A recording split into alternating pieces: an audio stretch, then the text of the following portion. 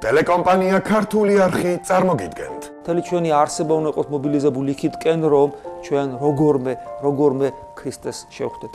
პასუხები კითხვებზე, რომელიც თითოეულ ჩვენთაგან საინტერესებს. ერთთან, სოციალური პიროვნული ურთიერთობა. პიროვნება კი არა ვარ განსალკევებული ცალკე, როცა იერარქიაში ვარ, მე ეკლესიის წარმომადგენელი ვარ. წავე შეკითხვები და თემების საინტერესო განხილვა. როგორ გინდა გააგებინო რომ არ შეიძლება ჰომოსექსუალიზმი, არ შეიძლება სხვის ცოლთან დაწოლა, არ შეიძლება ზოოფილია. როგორ უნდა გააგებინო? ყოველ კვირა დღეს 18 საათზე. ანუ ამ სიმდაბლიდან გამომდინარე. უყურეთ დეკანოს თეოდორეს საავტორო გადაცემას ქრისტიანობა დღეს.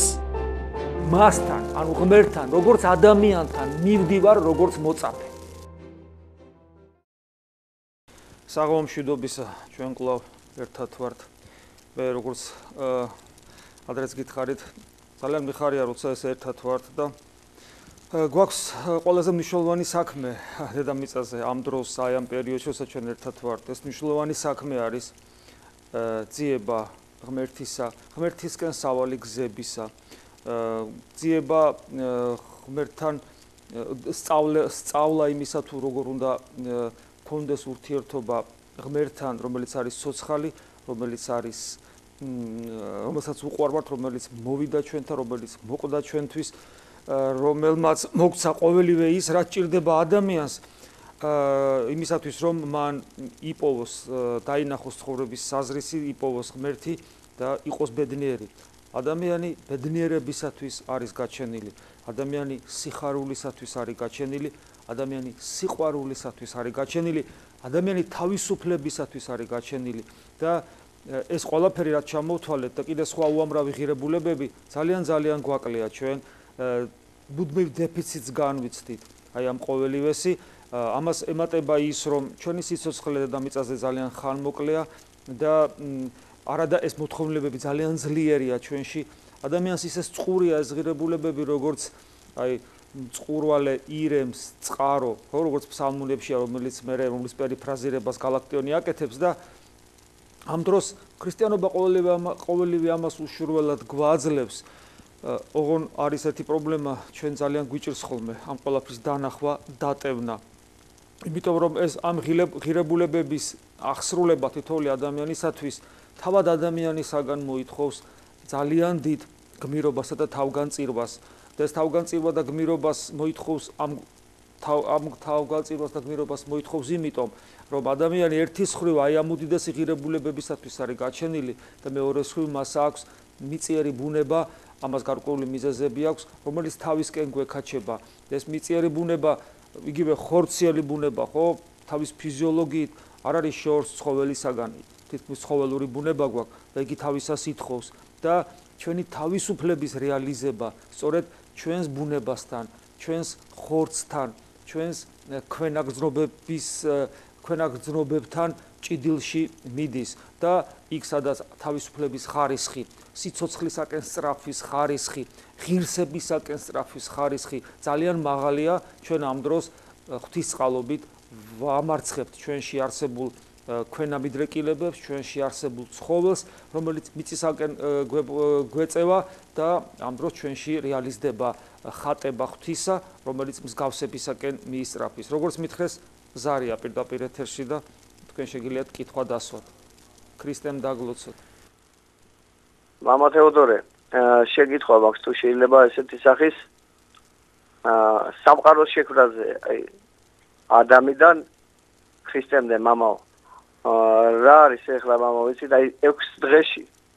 როცა უფალმა შეფრეს სამყარო დედამიწა საერთო საერთოდ ადამიანის ზოგიერთი მამა ჩვენს გვერდში მყოფი ხალხი ამბობენ რომ ერთ დღესა და მეორე დღეს შორის იყო მილიარდობით წლები. და ესე იგი ზოგი პირდაპირ ნიშნობით ამბობს რომ ეს იყო 6 დღე. პირდაპირ 6 დღე ახლა ჩვენ პირველი მეორე დღე 6 დღე რა და საერთოდ ეგ როგორ არის, როგორ უნდა ვიცოდეთ ჩვენ როგორ არის მართალი? სწორი, აი როგორ იქნება ერთ დღესა და მეორე დღეს შორის და ასე მე ვხსენე მილიარდობით წლები არის თუ არა და ერთი რამე გვაინტერესებს კიდე მამაო. აი ადამიანთან, აი პირველი ყოფილი ადამიანები. დღევანდელ დღეს ისეთ წარმოგვისახავენ ხოლმე და გვიჩვენებენ ეკრანებიდან რომ ჩემი აზრით ადამი ძალიან ლამაზი ადამიანი და ყოფილიყო და ყველა ის ჩვენი დიდი წინაპრები ძალიან ლამაზი ხალხი იყვნენ და არ იყვნენ ესეთი დღეს რო გვიჩვენებენ რომ თითქოს აი პირველ ყოფილი ადამიანი და ესეთი როგორც გვიჩვენებენ თქვენი თვით მამო შეურაცხყოფა იყოს მათამი მიეწერებულ და შეუხედავები არ იყვნენ ის ხალხი ნამდვილად იქნებოდნენ შეხედულები და აი ეს გვაინტერესებს თუ გეტყვით მამო ძილი დიდი მადლობა ყველაფრისთვის რაც შეეხება სამყაროს შექმნას მოდი ესე ვთქვა სამყარო როგორიც არის დღეს თავისი კანონებით ხო სამყარო არსებობს კანონებით ხო აი ამ კანონების მიხედვით როდესაც ანგარიშობენ ის რაც დღეს რასაც დღეს წარმოადგენს სამყარო აა მეცნიერები როცა ანგარიშობენ გამოსდით ეს მილიარდი წლები თუმცა შეიძლება ახაც თქვა მეცნიერება ხან მართებულს ამბობდეს, ხან ცდებოდეს, მაგრამ ეხლა ამას მნიშვნელობა არ აქვს. თავარი არის ის, რომ დღევანდელი მონაცემებით სამყარო, როგორცაც მე ვხედავ, აი სამყარო არის ესეთი. მას თავის კანონები აქვს, ხო სწორია? და აი ამ იმ დღევანდელ სამყაროში არსებული კანონების მიხედვით, ხო? მე თუ უყურებ, როგორ შეიძლება სამყარო განვითარებულიყო, რა დინამიკა იქნებოდა რა ამ განვითარებაში, ხო? ეს მილიარდი წლები გამოდის ამ კანონებიდან გამომდინარე. აი მაგალითად ნიუტონის კანონები ვიცით არსებობს, თქვა ჩვენს ახლო სივრცეში დედამიწა და თქვა აი ის ის ფიზიკა, რომელსაც ჩვენ ჩვენ რომელიც ჩვენს გარშემოა, ანუ არა მაკრო, ან მიკრო, არამედ ის ფიზიკა, რომელიც ჩვენს გარშემოა, ჩვენს გარშემო სამყაროში აქ მოქმედებენ ნიუტონის კანონები. ნიუტონის კანონები მოქმედებენ და ეს სწორია და სამართლიანია. მაგრამ თელი სამყარო რომ ესეთი ყოფილიყო როგორცაც ჩვენ აღვიქოთ სადაც ნიუტონის კანონი მოქმედებს ვაშე ნიუტონის ნიუტონის კანონებით შეიძლება და თელი სამყაროს შესწავლა მაგრამ თანამედროვე ფიზიკამ გვაჩვენა რომ თელი სამყარო ესეთი არ არის ისე რასაც ჩვენ აქ ხედავთ არსებობს სხვა განზომილებები არსებობს მიკრო არსებობს მაკრო როგორც გითხარით არსებობს ჩვენ ჩვენ ჩვენი თვალისათვის უხილავი სამყარო ასევე მატერიალური, სადაც ნიუტონის კანონები აღარ მოქმედებს. და იქ არის სხვა კანონები, ხო? ანუ კიდევ ვიმეორებ, ჩვენი მეცნიერება სამყაროს ხედავს, აი როგორც ხედავს, მას აქვს თავისი კანონები, ამ კანონების საშუალებით იგი არსებობს, არსებობს დინამიურად, რადგან დინამიურად იგი ვითარდება ან რეგრესს ან პროგრესს განიცდის და შესაბამისად უკვე მეცნიერები ამ კანონების მიხედვით რა სურათის დღეს აქვს, ამით ამ კანონების მიხედვით საზღურავენ იმ დროით დროის მონაკვეთებსაც, იმიტომ რომ მატერიალური სამყარო დროის გარეშე არ არის. მაგრამ ჩვენ როგორც მორწმუნეები ჩვენ ვიცით რომ ჩვენ შეგვიძლია ვთქვათ ესე რომ სამყარო შეიძლება ყოველთვის ესე არ ყოფილიყო. სამყაროს შემოქმედი ყოვლისშემძლე ღმერთია და ეს კანონები, რომელიც მან დააწესა სამყაროს თქვათ შენარჩუნებისათვის, ხო, რომ სამყარო არსებობდეს, ხო? ეს კანონები შეიძლება ადრეს ხვანერი ყოფილიყო. ამას ამას ვერავინ ვერ იტყვის. მაგალითად 6 დღე თუ ეს თითოეული დღე უამრავ ესე იგი პერიოდ შეიცავს. თუ სამყარო თავიდანვე როცა ღმერთი მას ქმნიდა, აი ამ კანონებით წესრიგდებოდა, მაშინ რა თქმა უნდა ეს მილიარდი წლებია. თუ მაშინ კანონები სხვა იყო, მაშინ შეიძლება დროის თქვათ მონაკვეთები სხვა იყო. საქმე იმაში რომ ამას ჩვენთვის პრინციპული მნიშვნელობა არ აქვს. აი ქართული გამოთქმა არსებობს, ხო კვერცხი შეიქმნა თუ ქათამიო, ხო? ესე იგი ეს ძალიან უცნაურია, იმიტომ რომ ლოგიკურად პასუხი ამაზე არ არის. ხო, თუ კვერცხი, თუ ქათამი კვერცხიდან უნდა გამოიჩეკოს და გაიზარდოს, მაგრამ მეორე თუ კვერცხი ქათამა უნდა დადოს, ხო, ხო სწორია. მაგრამ ყოვლის შემძლე ღმერთ შეუულია კვერცხი გაეჩინა და იქიდან ქათამი დაბადებულიყო. და ასევე ყოვლის შემძლე ღმერთ შეელო პირდაპირ ქათამი გაემზადებინა და იქ მას კვერცხი დაედო. ანუ სადაც ღმერთია ჩარეული, ხო? იქ უკვე კანონები სადმი ესეთი მონური დამოკიდებულება უკვე სწორი აღარ არის. მაგრამ საქმე იმაშია, რომ ჩვენთვის ქრისტიანებისათვის არანაირი ნიშნულობა არ აქვს, თქვათ, აი ამ პერიოდების წოდნას. ის თქვათ, აი თქვათ გაიგე ზუსტად. მე რა, რას გაძლევს? ან შეგეშალა, არც ეს არაფერს არ გავნებს, ან გაიგე ზუსტად არაფერს არ გაძლევს.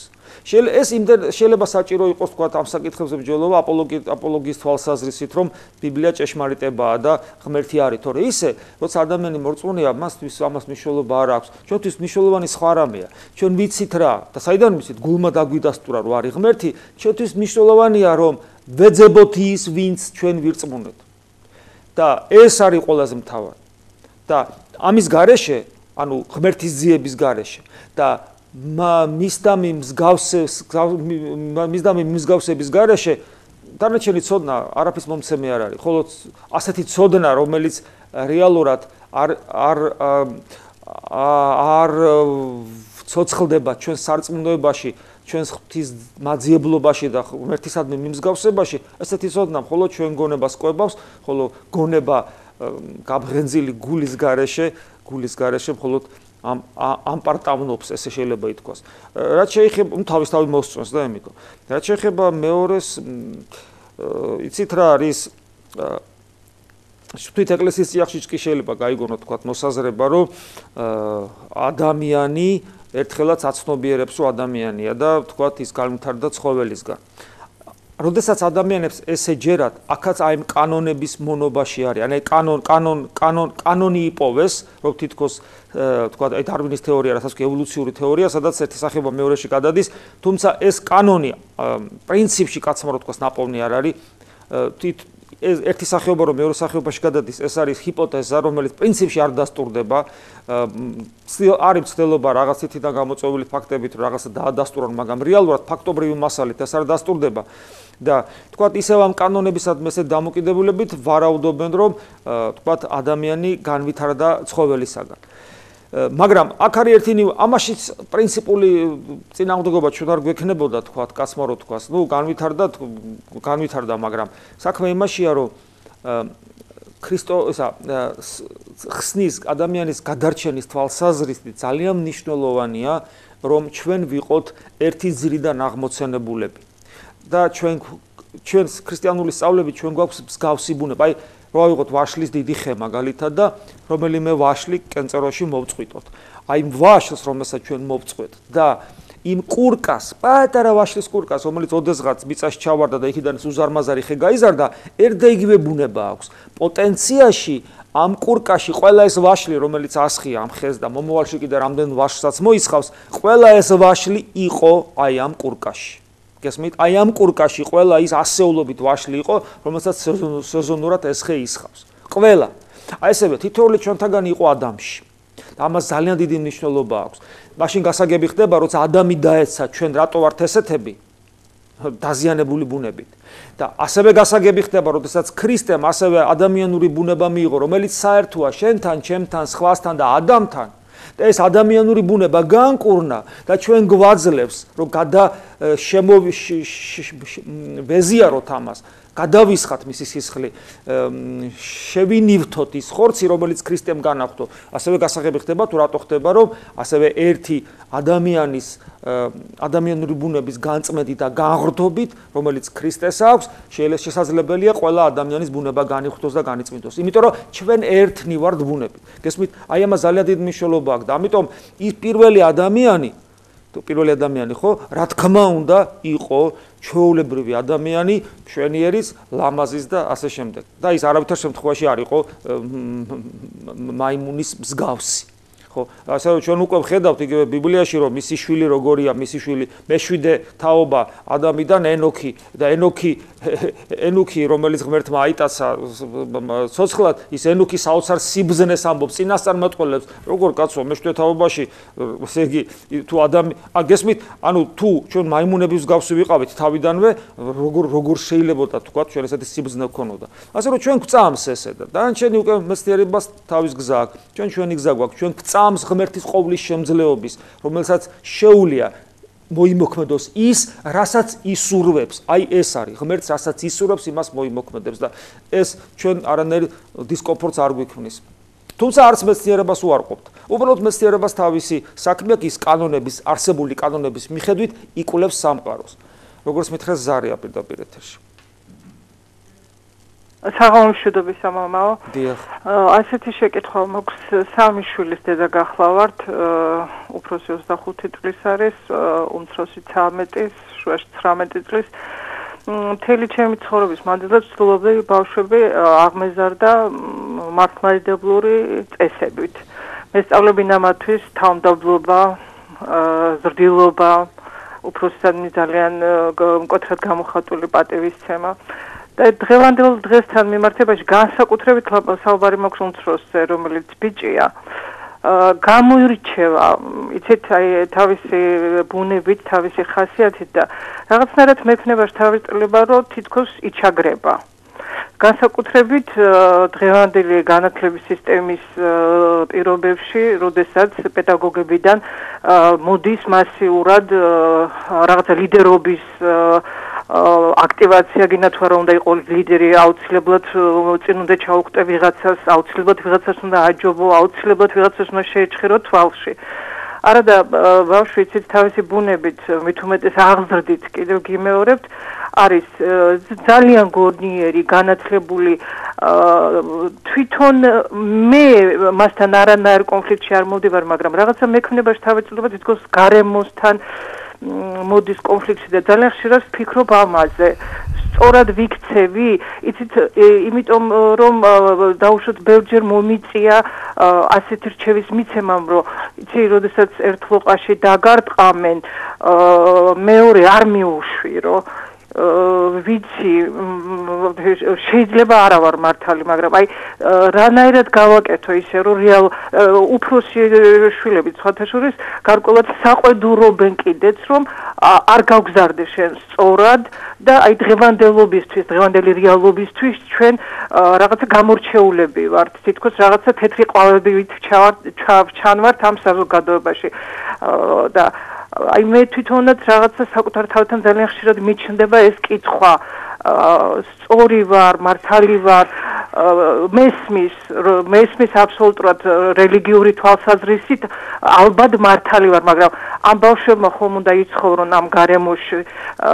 არ მინდა არანაირად არც მათი ამ დაცებლებად გაზრდა, მათი ცხოველებად გაზრდა რაღაცა ის ინსტინქტების ამ ამოქმედება და არ და მეჩვენება რომ იჩაგრებიან. იჩაგრებიან დაუშვათ ყოველგვარი გადაჭარბების და არა აი რაღაცა სუბიექტური დამოკიდებულების გარეშე ნიჭიერები კარგები არიან მაგრამ დაუშვათ უჭერთ ძალიან უჭერთ თავიანთი ადგილის მოძებნა საზოგადოებაში სამსახურში სასწავლებელში სკოლაში და დაუშვათ აი იმ დამსახურებულად თუნდაც შექებს აი კიდევ მე რომ განსაკუთრებით ბიჭუნაზე ვსაუბრობ მე არ მეჩვენება ნამდვილად, იმიტომ რომ დავშოთ გარშემო უამრავი მეგობარი ან ნაცსა რომლებიც ხედავენ და გამორჩეულად აღნიშნავენ, ის კი არა დამრიგებელმა სკოლის მითხრა ასეთი ფრაზა, მე გაოცებული ვარ ეს ბავშვი, ასეთი შეგრძნება მაქვს, თვარეზეა გაზრდილიო. მაგრამ მაინც მეჩვენება რომ ვერ შევძელი რეალობასთან და გარემოსთან და ვერ ვახერხებ მომზადებას რაღაცა აი შემდგომი ცხოვრებისთვის და აი რა უნდა გავაკეთო ასეთ სიტუაციაში აი როგორ უნდა მოვიქცე? მაზიარებელები არიან ყავთ მოძღვარი მაგრამ ვიბნები ძალიან ხშირად ვიბნები და მაინტერესებს თქვენი აზრი. იცით რა არის თვითონ ღმერთი შეეწიოს თქვენ კარგშვილებს უბრალოდ მე მისქვა მინდა რომ ჩვენ ძალიან ხშირად შეცდომა სწორედ ქრისტიანულ ცხოვრებაში უშვებთ და როცა თქვენ მიშვილები სვავენ ესეთ კითხვას კი სწორე კი იყო ჩვენი ესე აღზდა ხო არ დააშავე. შენ მე მომიტევეთ მაგრამ ეს ჩემთვის ესეთი სიმპტომია რა რომ აა ქრისტე საერთოდ არის შუაში აი ამ ამ ყველაფერში იმიტომ რომ სადაც ქრისტია იქ ესეთი კითხვები არ ჩდება არც თქვენგან და არც მათგან. ჩვენ რატომ ვფიქრობთ, რომ ქრისტიანო ქრისტიანულად აღზრდილი ადამიანი დაჩაგრულია? მე ამას ესე ვერ ვიღებ, იმიტომ რომ ეკლესიის ისტორიას რო გადავხედავთ, წარსულშიც, აწყოშიც რომ ნახავთ ადამიანებს, რომლებიც ქრისტიანულად ცხოვრობდნენ, ვერ დავინახავთ იქ დაჩაგრულ ადამიანებს. რას ნიშნავს დაჩაგრული ადამიანი? აა საერთოდ ეს სოფელი კი ძულობს ქრისტეს ამ სოფლის სული, მაგრამ მეორე მხრივ ღმერთი არის ამ სოფელში და ესე არცად ცალსახად არ ხდება, რომ თქვა ადამიანი, რომელიც ქრისტეს ერთგულია, ის აუცილებლად, აუცილებლად აუცილებლად დაჩაგრულია და მოძულებულია საზოგადოებიდან. ეს ესე არ არის. საერთოდ ქრისტიანული ცხოვრება თუ მოდი ასე განვიხილოთ. ქრისტიანული ცხოვრება თავის რაღაც ნაყოფად გარკვეულ ზნეობრივი ცხოვრების წესს იღებს, ხო სწორია? თუ ჩვენ ავიღებთ კონტექსტიდან ამოგლეჯილად აი ამ ზნეობრივი ცხოვრების წესს და ვეცდებით რომ ბავშვი ბავშვი ესე აღიზარდოს და ესე იცხოვროს ხო? ამას ნუ ხა ცუდი შედეგი რა რა ზნეობრივ აღზრდას თქვა მოყვება მეთქეს როგორ თქვა მაგრამ ეს არ იქნება ქრისტიანული აღზრდა თუ და აბა რა არის მაშ ქრისტიანული აღზრდა კითხვა ჩდება. ქრისტიანული აღზრდა არის იმ შემთხვევაში არა იმ შემთხვევაში როცა თქვა განცალკევებულად ზნეობრივ აღზრდას ცდილობ ადამიანისას რომელიც უნდა იყოს აბა ხო შობილმა შვილი უზნეობთ რატო უნდა აღზრდოს და ტაცებელად და ცხოველად რატო უნდა გაზარდოს არამედ ეს არის ჩვენი მხრიდან, მშობლების მხრიდან მცდელობა, არასაც მოძღვარი აკეთებს თავის სამრევლოში, რომ მე არა მარტო ის მარტო ის კი არ გითხრა, რომ ღმერთი არის, არამედ და მით უმეტეს არ უნდა გითხრა მარტო ის, რომ იცი რა სწორად უნდა იცხოვრო, თუ არ გისაფუთებ, რატო უნდა იცხოვრო სწორად. იმიტომ რომ მაშინ სწორი ცხოვრების წესი ერთგვარი ლოზუნგია, გაიგე? ან მოწოდება თუნდაც უკეთეს შემთხვევაში, რომ აი ესე და ესე იცხოვრე. ქრისტე ესე არ გვასწავლის. ქრისტე როცა გვეუბნება, რომ ასე და ამგვარად იცხოვრე, ძალას გვაძლევს რეალურს. და ეს ძალა მასთან ურთიერთობიდან მასთან ურთიერთობაში ვიღებთ ამ ძალას. ანუ ქრისტიანობა არის იქ, სადაც არის ცოცხალ, ყოვლის შემძლე ღმერთთან, ცოცხალი პიროვნული ურთიერთობა. და როცა ადამიანს ამგვარი ურთიერთობა აქვს ცოცხალ ღმერთთან, მან ყოველთვის ზუსტად იცის, რომ აი ეს ناقოფი, ზნეობრივი ناقოფი რა ფორმებით უნდა გამოავლინოს საზოგადოებაში. როცა იგივე მარჯვენა მეორე ლოყის მიშორაზე ვსაუბრობ, დიახაც ტრის სიყვარული, მარჯვენა ლოყის მიშვერა, თქვათ და ასე შემდეგ, ეს ერთ-ერთი ნიშანია ქრისტიანობისა, მაგრამ არც ერთი სათნოება აღსრულებული უგუნურად სიკეთეში არ გვეთვლება პირიქით უგუნურად აღსრულებული სათნოება ბოროტებად იქცევა. გახსოვთ ქრისტეს გაარტყავენ და არ მიუშვეს მეორე ლოყას მინდა წერილში. გესმით? ის პასუხს მოსთხოვს. პასუხს მოსთხოვს თუ რატომ მოიმოქმედა იმან ეს უკანონო საქციელი.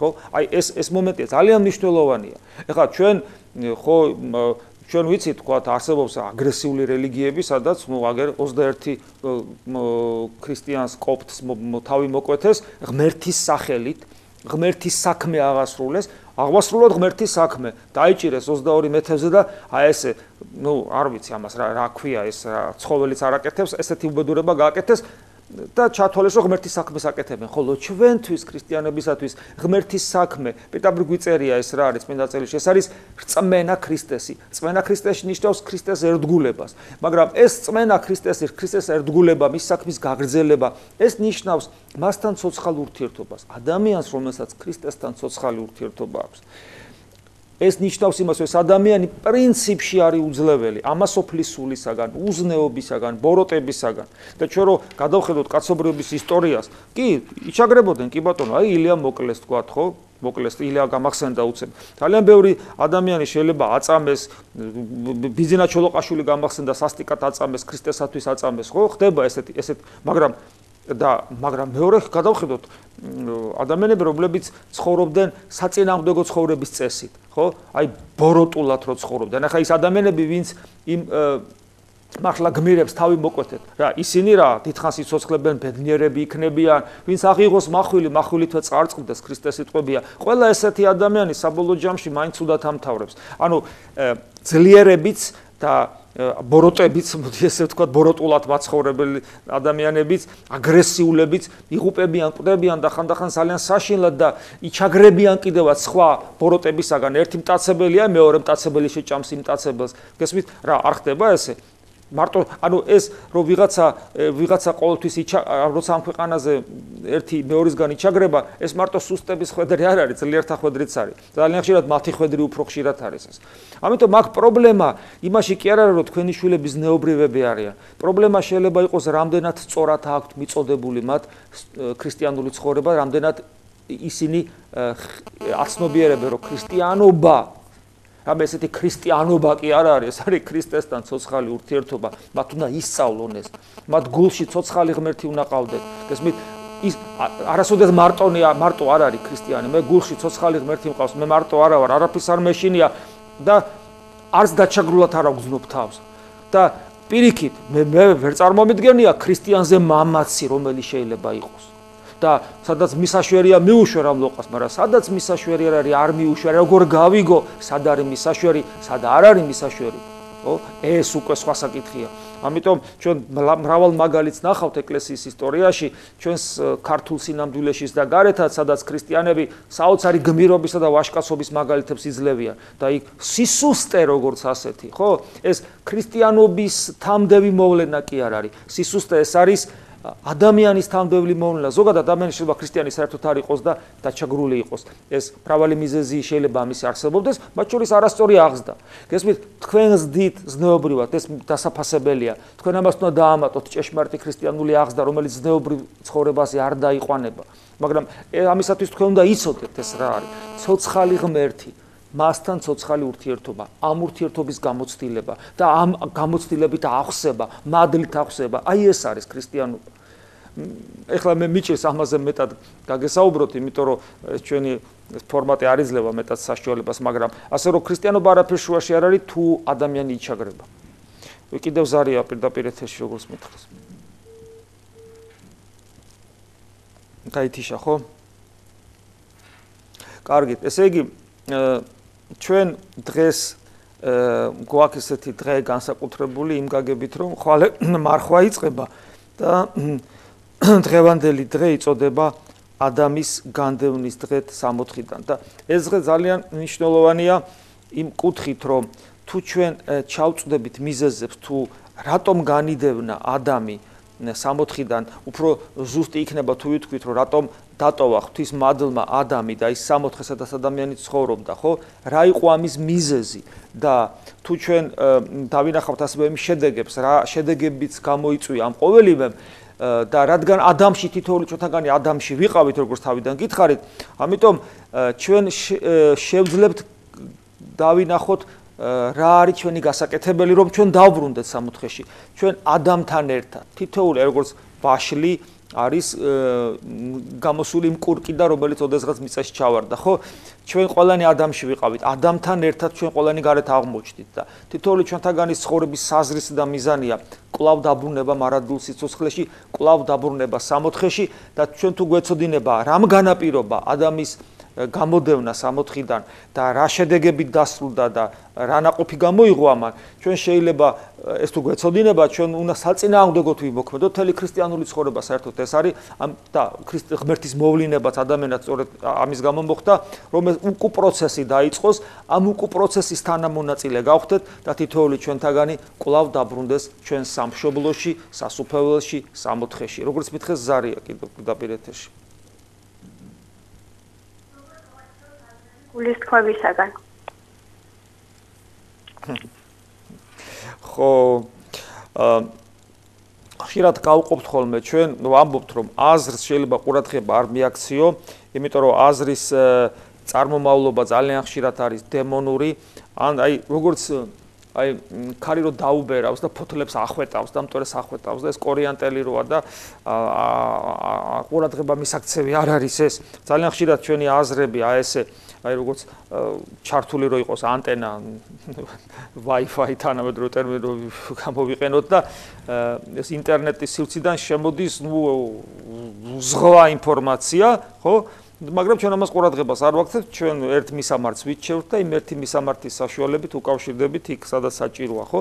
ანუ ტვინს ტვინი როგორც ანტენა ისე მუშაობს და ფაქტობრივად განჯის უნდა ტვინი და უამრავ ინფორმაციას იღებს და როგორც წინა მომები გვასწავლიან და საკუთარი გამოცდილებას გვაჩვენებს, ძალიან ხშირად ეს შემოსული ინფორმაცია იმდენად შოკის მომგვრელია თავისი თავისი ცულ ცულ ბნელი ენერგიით შეიძლება ასე ითქვას, რომ ჩვენი დაცემული ბუნება, რომელიც ცუდისკენ ისედაც არის მიდრეკილი, ხო? ის ჩვენი დაცემული ბუნებაც კი აღშფოთდება და ისიც კი ვერ იღებს და შეწუნებულია ხოლმე. ეს ძალიან ხშირად არის დემონური წარმოშობის და რა თქმა უნდა მას ყურადღება არ უნდა მიექცეს. გულის თქმა და გულის სიტყვა ეს არის გულის განცდა არა უბრალოდ აზრი, არამედ გულის განცდა. ანუ აზრი აზრია და განცდა. შეიძლება აზრი ჩავიდეს გულში და გულმა მიიღოს ის განცდად გადავა. გულის განცდა, რომელიც გარკვეულ ემოციასთან, გრძნობასთან არის დაკავშირებული, ან სიამოვნებასთან, ან რაღაც მისწრაფებასთან, ან შიშთან, გესმით, ან უიმედობასთან, ან იმედთან და ეს ყველაფერი თუ სიამოვნება, რაღაცა შიში, იმედი, უიმედობა, მისწრაფება და ასე შემდეგ. თუ ეს ყველაფერი არ არის ჯანსაღი და იმ თავარ მიზანს გვაცილებს, გვაშორებს მაშინ ვამბობთ რომ ესეთი გულის თქმა არის ცოდვა გესმით? აი ეს არის. და და კიდევ ვიმეორებ რატომ არის ეს გულის თქმა და არა აზრი? იმიტომ რომ აზრი არის არ უკავშირდება ჩვენს გზნობის მიერ განცდას ხოლო გულის თქმა გზნობის მიერ განცდას ბადებს. და აშკარად იგზნობა რომ ჩვენს ბუნებას ჩვენს ბუნებას ეს უნდა. და კი არ აღშფოთდება არამედ უნდა. აი მაგალითად თვალი გამექცა, სადაც არ უნდა გამექცეს, მომინდა ის, რაც არ უნდა მომინდეს, თქვა, იმედი დავკარგე იქ, სადაც არ უნდა დამეკარგა, იმედი მომეცა იქ, სადაც არ უნდა მქონოდა იმედი, გესმი და ეს ყველაფერი გავბრაზდი იქ, სადაც არ უნდა გავბრაზებულიყავი, აღშფოთი, სადაც არ უნდა აღშფოთებულიყავი, ეს ეს გამიხარდა იქ, სადაც არ უნდა გამხარებოდა, გესმით? ანუ ის ყველაფერი და როგორ მიხვდე რომ ეს არ იყოს სწორე? რა თქმა უნდა მე მაქვს ინდისი, მე მაქვს ცოდნა საფრთხო ცნებებისა, მე მაქვს გარკვეული ზნეობრივი კანონი ჩემში და გარკვეული გამოცდილება სულიერი ცხოვრებისა და ამის ფონზე მე ვაფასებ ამას და ვამბობ რომ ეს გულის მდგომარეობა, ეს გულის თქმა, იგივე მდგომარეობა არ არის სწორი და ესე იგი მე უნდა მინდოდეს ეს და ამ დროს ჩემ გულს უნდა ეს. ეს არის ცოდვა და ამას ადამიანი ებრძვის ახსარების დონეზეც კი. აი ესია და რაც შეეხება აზრი, კიდევ ვიმეორებ, აზრი ხო? აზრი ეს არის, რომელიც აი ამ დონეზე არ შემოდის ჩემში და მას ესე იგი უკვაგდებ, ყურადღებას არ ვაქცევ, თუ ძალიან შემაწუხა, ძალიან შემაწუხა, თქვათ, საერთოდ უფალს ვებედრები მომაცილო. საერთოდ ესეც არის, რომ ძალიან ხშირად ეს აზრი, რომელიც ხშირად ეშმაკისგან არის, ეშმაკი ხედავს ჩვენს მიდრეკილებებს და შეიძლება ისეთი აზრიც კი მოგაწოდოს, რომელსაც ის ივარაუდებს ბოროტი, რომ ჩვენი გული ამისკენ მიდრეკილია და იმედოვნებს, რომ ის ასრო მომაწვიდა თუ დაუწყებ მას გავიჩერებ და მომეწონება, ის შეიძლება მე გულის თქმად გადაიქცეს. ეს რა თქმა უნდა, ესეც არის. ეს მომენტიც არსებობს. ყოველ შემთხვევაში ამას გამოცდილება ჭირდება, გამოცდილ ადამიანთან, შედარებით ხა ჩვენთან გამოცდილი ვინ არის სამწუხაროდ სულიერ ცხოვრებაში ეს სერიოზული პრობლემაა საქართველოში ამხრებ გასაგები ობიექტური თუ სუბიექტური მიზეზების გამო, მაგრამ ყოველ შემთხვევაში შედარებით გამოცდილ ადამიანთან ურთიერთობა, წმინდა მამათა თხუზულებების კითხვა და რა თქმა უნდა, თვითონ შინაგანი ძიება მუდამ ღმერთისა და აი ეს ყველაფერი დაგვეხმარება საბოლოო ჯამში რომ პრაქტიკულად ეს პრაქტიკაში გავარჩიოთ და გამოვიყენოთ სულის ცხონებაში. კიდე ზარია როგორც მითხრეს. დაცეთ მამა. მამა ბოდიშკი ხვდეთ შეიძლება ეს სატელევიზიო თემა არ იყოს, მაგრამ სამწუხაროდ თქვენთან შეხვედრის ბედნიერება არ მაქვს. ძალიან მაინტერესებს, როდესაც მოძღვარი ცილს გწამებს, თავის ჩადენ დანაშაულს შენ გაბრალებს და ამის გამო სამწლიან უზიარებლობის სასჯელს გადებს, ამ შემთხვევაში როგორ უნდა მოიქცეს ადამიანი? აა თქვენ ერის ადამიანი ხალხად ბონოზონი ბერი არ ახართ, ხო? ესე იგი, საერო სამრევლოში თუ ადამიანი თulis რომ უსამართლოდ არის დაჟილი ზიარებისაგან საერთოდ ესე ვთქვათ საერთოდ მღვდელს პრინციპში ზიარების აკრძალვის უფლება არ აქვს. მღვდელს არ აქვს უფლება ერის ადამიანს ზიარება აუკრძალოს მღვდელს მხოლოდ მოძღრული პედაგოგიური პრინციპებიდან გამომდინარე შეუძლია გითხრას რომ შენი ზიარება არ შეიძლება. და შეიძლება თვითონ არ გაზიაროს პრინციპში მაგრამ ზიარება აგიგზალოს მღვდელს ამის უფლება არ აქვს ამის უფლება მხოლოდ აქვს ეპისკოპოსს, რომელსაც შეუძლია შენ შენი ეკლესიასთან ურთიერთობა შეაჩეროს. უზიარებლობა თან სამი წელი. ეს ნიშნავს, რომ ესე იგი შენ ეკლესიასთან, ანუ ქრისტესთან ურთიერთობის საშუალებას არ გაძლევენ. ამას ნიშნავს. ამის უფლება ღდელს არ აქვს. ღდელს აქვს რჩევის უფლება. აი თქვა მე შეიძლება ვთვლიდე რომ ეს ადამიანი შენ თქვა ისე და შენი ზიარება არ შეიძლება, რატო? რატო არ შეიძლება? იმიტომ რომ არასწორად ცხოვრობ. ანუ ქრისტიანული მსოფლმხედველობა არა გა ქრისტიანულად არ ცხოვრობ და მე შეიძლება გითხრა რომ იცი რა მე თავს შევიკავებდი შენ ადგილას ზიარებისაგან და მე შეიძლება შემეშინდეს გაზიარო კიდევა ჩვენ და მაგრამ ის რომ მე შენ ზიარება აგიგზალო და შენ წახვიდე სხვაგან და ზიარო ეგ შენი საქმეა და მე ამის უფლება არ მაქვს. ხა თუ ამას ემატება ისიც რომ მე რაღაცა პირადი გაბრაზების გამო ამ ანუ თუ ამას პირადი ემოციური ფაქტორი ემატება და მე რაღაცა თქვა ჩემი პირადი ანგარიშო ეს ყოლა დაუშვებელია. მაშინ შენ კითხვა ჩდება, ეხა როგორც შენ მაწვდი, შეიძლება შენ მართალი არ ახარ, მაგრამ როგორც შენ მაწვდი, მე ასება ამის შესაბამისად ვჟელობ. მაშინ კითხვა ჩდება, აბა რა ვქნა? რა ვქნა და დაიხურე კუ და წადი სხვა მღვდელთან. აი ეგ უნდა. ჩვენი, თქვენით, ჩემის ყოველას მოძღვარი ქრისტია. უფალი ამბობს, რომ ნურავის უწოდებთ მამას და ნურავი იქნება თქვენ შორის წინამძღვარ, ამეთ ყოველივე ძმები ხართ. ამას სექტაში სექტებში პირდაპირ იგებენ ეს სხვა საკითხია. იგივე უფალი ამბობს პატივიეს მამასა და დედასა შენსა და ასე შემდეგ. ეს სხვა თემაა. უბრალოდ ეს ნიშნავს იმას, რომ აი რელიგიურ ურთიერთობებში არ დაგვავიწყდეს არასოდეს, რომ სინამდვილეში ჩვენი ყოველას მოძღვარი ქრისტია. აი როცა შენი მოძღვარი ქრისტია, და როდესაც შენი ცხოვრების მიზანია მასთან ურთიერთობა, მაშინ ამ დროს შენ ნახავ გამოცდილ ადამიანს, თქვათ მღდელს, რომელიც ასევე ქრისტესაკენ ისტრაფის და შენზე ცოტა მეტი გამოცდილება აქვს რა, მას ესე იგი ჩაჭიდებ ხელს და მასთან ერთად მიდიხარ ქრისტესაკენ. მაგრამ თუ იგივე სხვა ადამიანი, მათ შორის იგი ეს სხვა ადამიანი შეიძლება მღდელი იყოს, აღმოჩნდება რომ შენ პირიქით ხელს გიშლის შენი ნამდვილი მოძღვრისაკენ, სწრაფვას, ანუ ქრისტესაკენ სწრაფვას, თავისი პირადი ადამიანური ნებელობიდან გამომდინარე, გვერდი აუარე და წადი სხვასთან. ეს არის ჩვეულებრივი რამ. გესმით და ასე რომ, რაჭი მე მონასტერი იმიტომ გითხარით, რომ მონასტერში ცოტა სხვა პრინციპებია, მონასტერში ბერი ბერი მორჩილების აღთქმას დებს და ის ემორჩილება იღუმენს წინამძღვარს. მაგრამ აქაც არის ერთი ნიუანსი. თუ წინამძღვარი ცდება და ეს მაინც ემორჩილება, პასუხს მარტო წინამძღვარი არ აგებს. პასუხს აგებს ესე იგი მორჩილიც, ანუ ბერიც. იმიტომ რომ სანამ ის დაემორჩილებოდა, მას უნდა გამოეძიებინა. ემორჩილება რა ადამიანს ის ადამიანი ისრაფის თუ არა ქრისტესაკე. ხო ესეც არის. მაგრამ აქ კიდე ერთი ნიუანსია.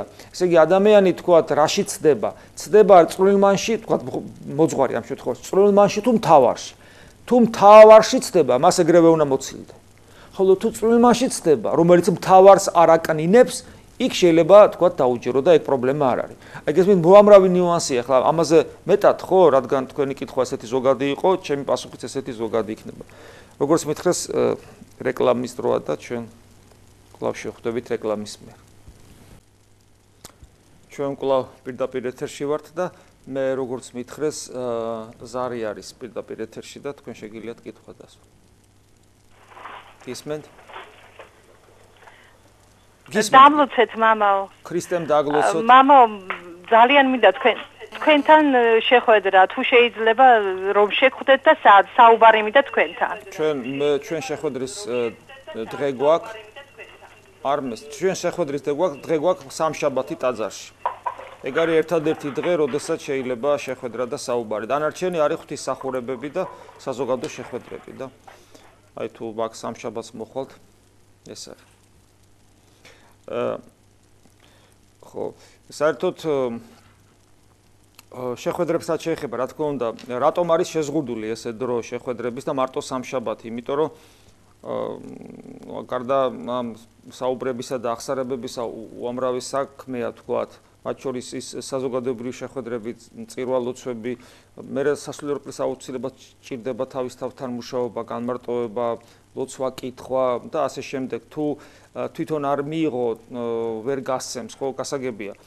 და მაგრამ მეორეს ეს საუბრები, ქადაგებები ჩვენ საიტიც გვაქვს, ინტერნეტიც, ინტერნეტ საიტიც გვაქვს, სადაც თქვათ ეს ყოველი საუბარი იდება ამ და ანუ ქადაგებები და საუბრები არის იმიტომ რომ უამრავ კითხვაზე აი ხლაც ეს გადაცემაც არის ამისათვის რომ უამრავ კითხვაზე პასუხი გაეცეს და ადამიანმა უიღებს რა უამრავ ინფორმაციას ამ პასუხებზე ქადაგებებიდან და შეხვედრებიდან ადამიანმა თვითონ უნდა მოახდინოს აი ამ ცოდნის რეალიზება რეალიზება ხო გესმით? იმიტომ რომ არის თითოეული ადამიანი აბსოლუტურად უნიკალურია და ეს უნიკალურობა ვლინდება იმას, რომ აბსოლუტურად ყველაფერზე პასუხი, რეცეპტი გამოწერილი ვერ იქნება თუ საკუთარ თავში ადამიანმა ეს არ გადახარშა და თან ადამიანი როცა სწორლესულიერი ცხოვრების ცხოვრობ, მარტო კი არ არის. ქრისტიანობის სიდიადე სწორედ იმაშია, რომ სულიწმინდა ღმერთია ჩვენთან, არა მარტო ძე ღმერთი, არამედ სულიწმინდა ღმერთი, რომელიც არის ეკლესიაში და ჩვენ თუ ეკლესიის ცოცხალი ნაწილი ვართ, ჩვენში ის არის ჩვენ შიგნით და გვასწავლის შიგნიდან. გვასწავლის სულიწმინდის მადლი და გვასწავლის ყოველივე იმას, რაც ქრისტემ თქვა. ქრისტემ თქვა, ეს ნათქვამი არის დაფიქსირებული წმინდა წერილში, მაგრამ ეს არის უსაზღრო ოკეანე. ჭა რომელიცთანაც წყალი არასოდეს არილება და იქ განსწავლულობაში გვეხმარება მესამე ღვთაებრივი პირი ყოვლადწმინდა სამებისა სული წმინდა ღმერთი და ქრისტიანული ცხოვრების არსი მიზანი როგორც წმინდა სერაფიმე საროველი ამბობს სწორედ მადლის მოხვეჭა რომელსაც სული წმინდა გვაძლევს და აი ამ მადლის მიერ განვისწავლებით. თუ ადამიანს ეს ცოცხალი ურთიერთობა ღმერთთან არ ჩამოუყალიბდა არანაირი შეხვედრები არანაირი კითხვებზე პასუხი არანაირი ციგნების კითხვა არ უშველის არ უშველის რაში თავარში არ უშველის რომ იგი განიხვრთოს და ცხონდეს. საჭიროა ამ ადამიანის თავად ძალიან აქტიური მაძიებლობა, სწორედ და სწორედ ცოცხალი ღმერთისა. როგორც მითხრეს, კვლავ ზარია პირდაპირ ეთერში. გამარჯობათ მამაო. გაიხარეთ. გამარჯობათ მამაო. გაიხარეთ, გაიხარეთ, გისმენთ. ღმერთმა დაგლუც. კითხვა არის ესეთი, მე მივესალმები იმას, როდესაც მე მივესალმები იმას, როდესაც ძველ საქართველოში ეკლესია იდგა მეფის გვერდზე, და იყო ფაქტიურად მისი მრჩეველი გარკვეულ საკითხებში. ეს არ შეეხებოდა მხოლოდ გარემონხტური მტრესთან ჭიდილს, არამედ ქვეყნის შიდა განვითარებას, მის ფსიქოლოგიურ მდგომარეობას, სულიერ მდგომარეობას. კითხვა არის დღევანდელ საქართველოსზე. მე როგორც ახლა ვხედავ, ყოველ შემთხვევაში ეკლესია მეტად ახლოს ადგას, საკმაოდ ახლოს ადგას მთავრობასთან.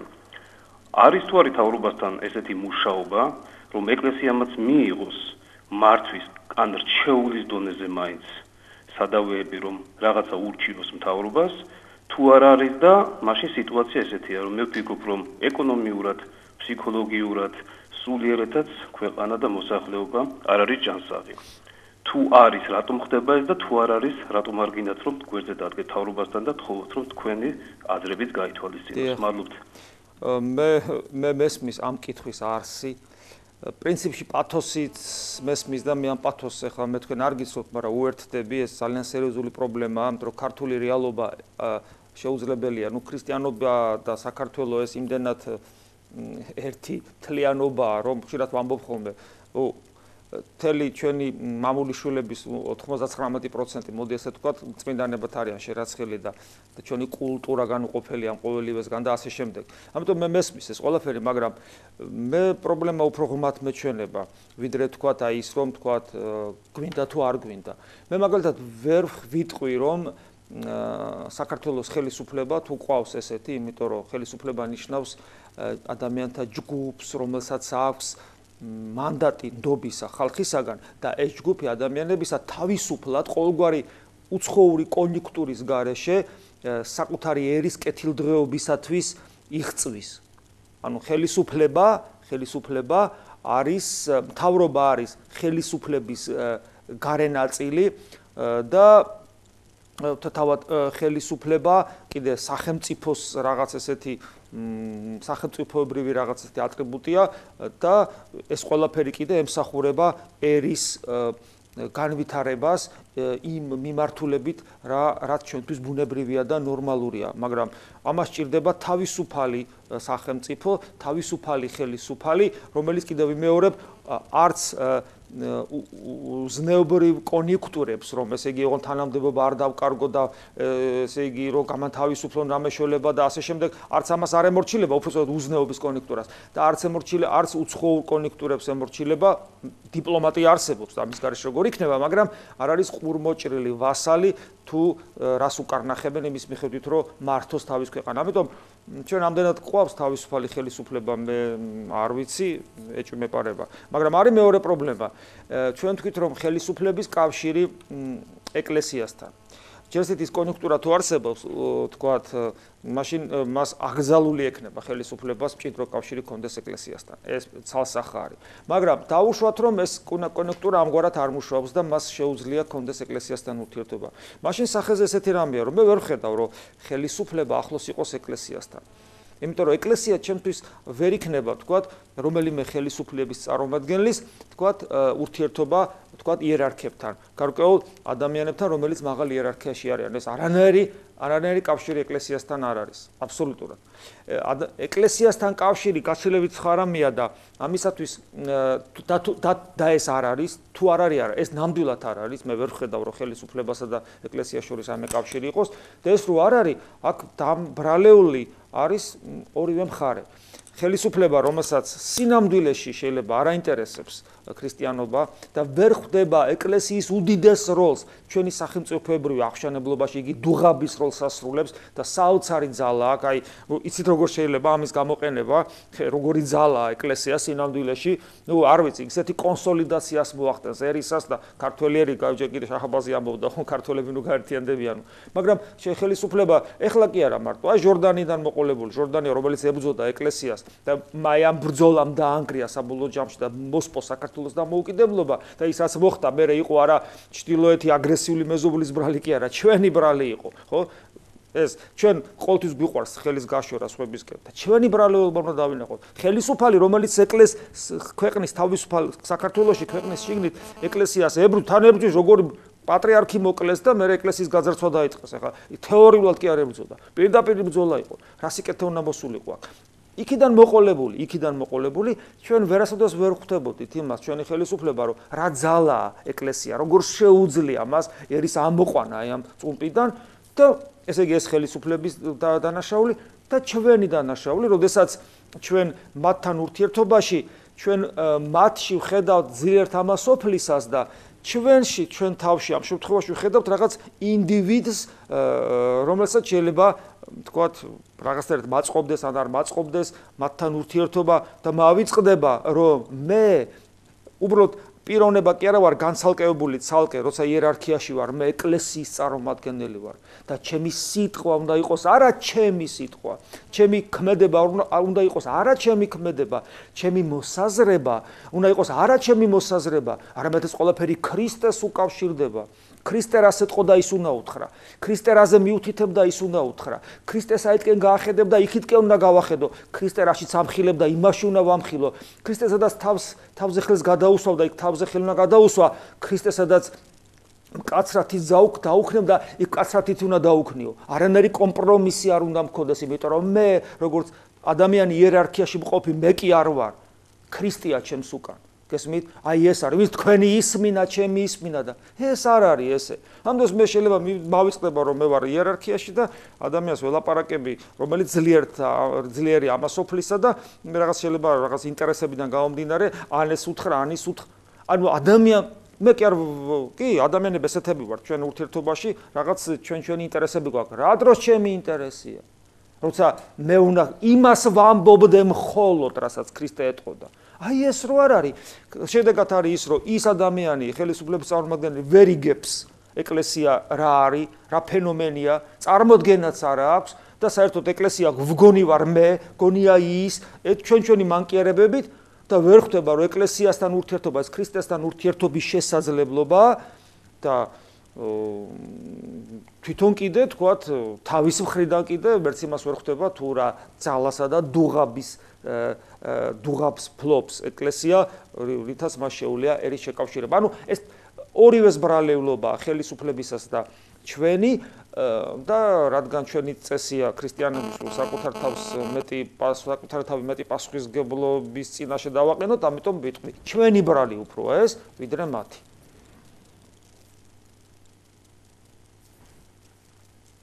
ზარია პირდაპირ ეთერში. დიახ. ალო. დიახ, გისმენთ, გისმენთ. გისმენთ, გენაცვალე, გისმენთ.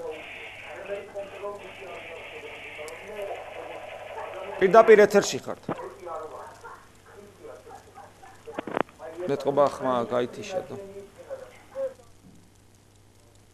ხო. ესე იგი, ჩვენ ადამიანის 60-დან განდევნაზე ვსაუბრობდით და საუბრობდით იმაზე თუ რა რამ გამოიწვია ეს, რა მოხდა და რა შედეგები მივიღეთ. შედეგებიდან გამომდინარე, ჩვენ შეიძლება ვთქვათ დაახლოებით რამ გამოიწვია ეს.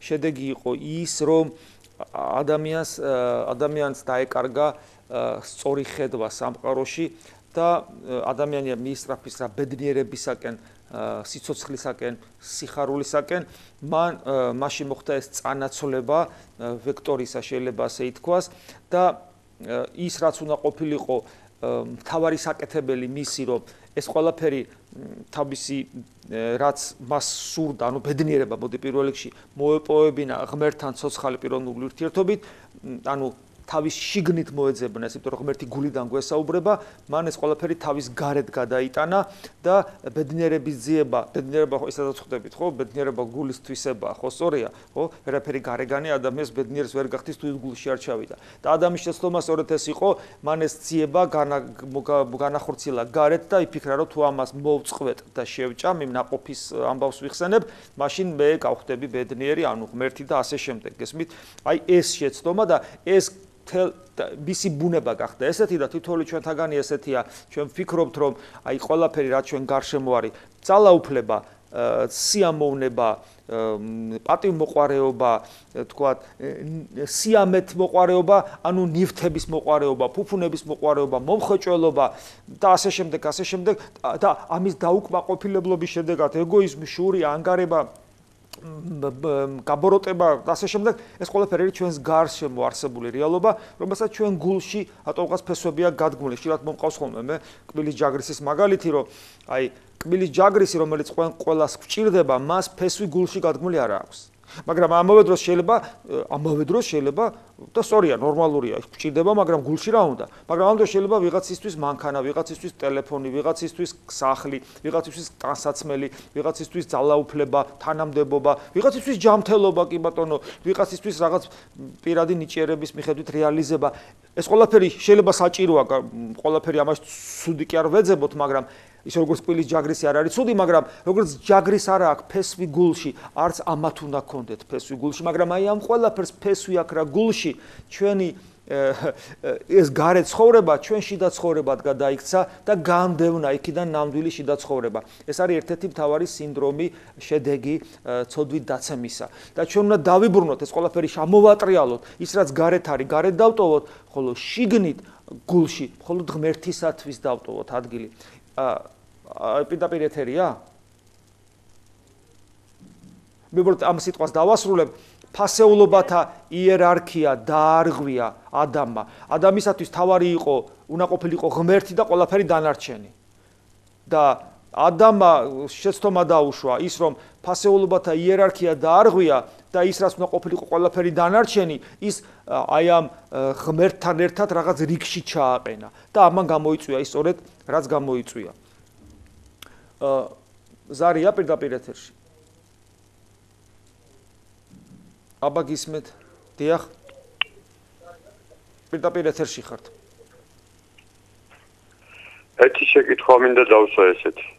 და რა მაინტერესებს რომ როცა ქვეყანა ამ მდგომარეობაში არის, ამ მდგომარეობაში არის და ან წინა ხელისუფლების დროს თუნდაც იმის წინა და უფრო აქტიურად რატო არ ერთვება და ანუ ეს ხალხით დაბნეულები ვართ უკვე აღარ ვიცით ვის რახმა დაუჭიროთ ცოდოა უკვე ქართული ხალხი და ანუ სწორი მიმართულება რომ უფრო მეტად გამოვხატოთ ან ჩავერიოთ მეტად ხო შეიძლება რომ ქართლიერი შეცდომაში არ შევიდეთ ან ვინ ავირჩიოთ რა გავაკეთოთ? მადლობთ. გასაგებია. ნუ კიდევ ერთხელ მინდა ვთქვა რომ ადამიანი ვერასოდეს ვერ გააკეთებს სწორი არჩევანს თუ არ აქვს შეფასების კრიტერიუმები. როცა რაღაცას აფასებ, აი თქვა ეს ჭიქა კარგია თუ ცუდი, მიხვდები მხოლოდ იმ შემთხვევაში თუ მე მაგ ცუდი და კარგი კარგი ჭიქის პროტოტიპი. აი რაღაცა ეს არის კარგი, ეს არის ცუდი, კაი ჭიქა არის ასეთი, ცუდი ჭიქა ისეთი და მე რო კი ამას ვაფასებ, იმის დამიხედვით როცა მე ეს ეტალონები მაქვს. როდესაც ქართველი კაცი აკეთებს არჩევანს, იგივე პოლიტიკურ არჩევანს, მან დაიცოდეს რა არის კარგი და რა არის ცუდი. და რა არის კარგი და რა არის ცუდი, არა ისეთი ბიციერი თვალსაზრისით რომ მე დღეს ახას მაგალითად ხო თუ ადამიანმა ჩათვალა კარგია ეს, იმიტომ რომ მან ერთი ტომარა ფქვილი მომცა, ნუ მას შეფასების კრიტერიუმი არეული აქვს. და ასეთ შემთხვევაში ცოტა ღირსება შელახული გვაქვს, ხო სწორია? ჩვენ უნდა ვისწავლოთ ღრმა ანალიტიკური აზროვნება და შეფასების კრიტერიუმები გქონდეს. სანამ ეს შეფასების კრიტერიუმები არ გვექნება, მანამდე ჩვენ ვერ მიხვდებით რა არის კარგი და რა არის ცუდი, იმიტომ რომ, როდესაც მე მთავაზობენ, რომ მეო, მე ამირჩიეო, ყველა მხოლოდ კარგს ამბობს, ცუდს არავინ ამბობს. ცუდს არავინ ამბობს. აბა ხო არ იყოს რომ მე ცუდი ვარ და ამირჩიეო, მე კარგი ვარ. ისიც ამბობს მე უკეთესი ვარ მე მთლად კარგი ვარ და მიდის შეჯიბრით და ადამიანი იბნება. იმიტომ რომ ყველა ამბობს კარგი ვარ, მაგრამ მე საქმე საქმეზე რა აღმოჩნდება ხოლმე პრობლემის წინაშე ვდგებით. როგორ მივხვდე? ჯერ ერთი, ხენაყოფით იცნობა. ხენაყოფით იცნობა. და ჩვენ უნდა შეგვეძლოს ამ ناقოფის დანახვა. მერე, გარდა ამის არსებობს შეფასების ზნეობრივი კრიტერიუმები. ზნეობრივი. იმდენი მაგალითია, რომ ადამიანი ამას არ აქცევს ყურადღებას. ადამიანი თვითონ ზნეობრივია თუ უზნეოა. გარყვნ თუ გარყვნილია ადამიანი ზნეობრივად. ის კარგი როგორ იქნება? ჩვენ ვფიქრობთ ეს მისი პირადი ცხოვრება რა მოხდა? ამას მნიშვნელობა არ აქვს. აქვს მნიშვნელობა ამას. ძალიან დიდი მნიშვნელობა აქვს ამ ძალიან დიდი. მე ადამიანის სოფხედველობა? მეცას გეტყვით წმენა და ურწმუნოება. სწორი ხედვა სამყაროს და ეს იმდენად მნიშვნელოვანია ეს თემები რომ და და და თუ მე თვითონ აი მე არ ვიცი მაგალითად რა არის კარგი და რა არის ცუდი. მე არ ვიცი მაგალითად რა არის ზნეობრივი და რა არის უზნეობა. მე ვერც კი ვა ვა ვახერხებ ამის განსხვავებას და ჩემთვის ამას დიდი